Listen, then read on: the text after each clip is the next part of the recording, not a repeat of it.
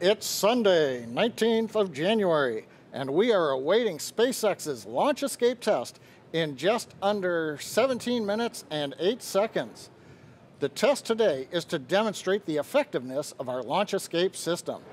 Now we are currently go for launch from pad 39A at Kennedy Space Center at 10:30 a.m. Eastern Standard Time. Thanks for joining us. I'm John Insprucker, Falcon Principal Integration Engineer here at SpaceX headquarters in Hawthorne, California. And I'm Marie Lewis with NASA Public Affairs. The purpose of today's test is to demonstrate Crew Dragon's ability to safely fly astronauts away from danger and separate from the Falcon 9 rocket during an in-flight emergency. Now, SpaceX's launch escape system is a first of its kind with its eight SuperDraco thrusters built directly into Dragon to push the spacecraft away from Falcon 9 in case of an emergency. You can think of it as a rocket on top of a rocket. 10, 9, 8, 7, 6, 5, 4, 3, 2, 1, 0. Ignition, liftoff. Semper Fi, aim high. Go Falcon, go Dragon.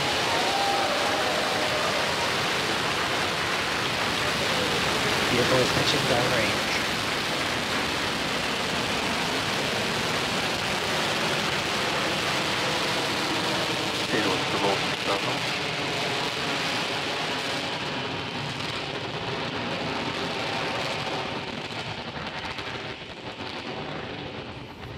T plus 30 seconds, Falcon 9 with the Crew Dragon capsule is heading east from pad 39A.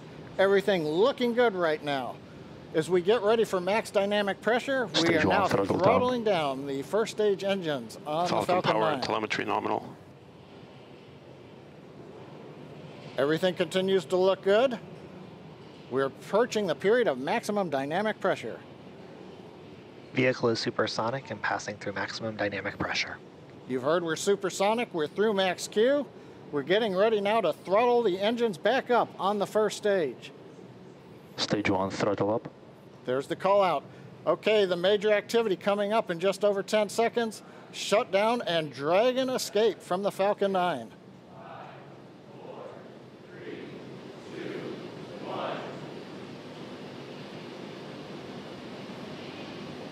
MECO, Dragon launch escape initiated. Dragons away. And you can hear some really loud uh, cheering in the room. Okay, you just saw a bright flash there. It looks like that may 9. be Falcon 9 breaking up. We've got some loud cheers um, here in Hawthorne. The, the folks that just watched live the Dragon separate. The next milestone we have coming up at 2 minutes, 25 seconds, um, we're expecting to see the trunk jettison. So that claw that connects the trunk to the capsule is going to separate, allowing Dragon to uh, separate from the trunk. That's coming up in 15 seconds. And we do have the report loss of telemetry from Falcon 9, first stage.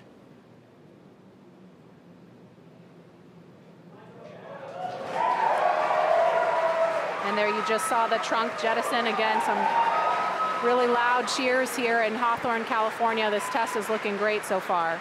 Nice view from the back of the Dragon capsule.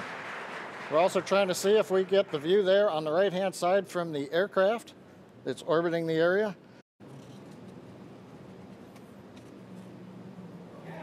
And there they are.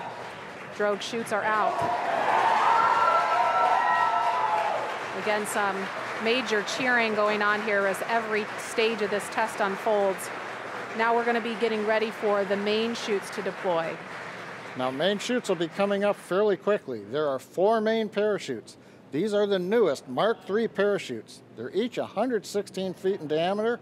We deploy them about two kilometers above sea level, 6,500 feet above the Atlantic Ocean. We're getting good views from the Dragon and the airplane, showing the two drogue chutes.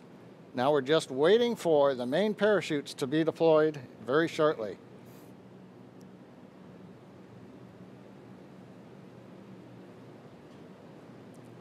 And we have the view from a different camera on Dragon showing the four main parachutes. Now they are deployed in a reefed condition. That means we're keeping them fairly shut to avoid shocks, and now we're slowly opening up the four parachutes.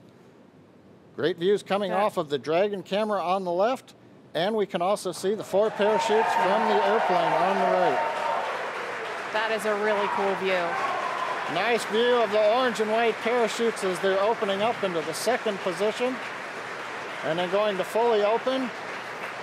From fully open, we'll be descending about 20 to 25 feet per second down to the Atlantic. I think we may have heard a call out of 100 meters to go. Yeah, I just heard that too.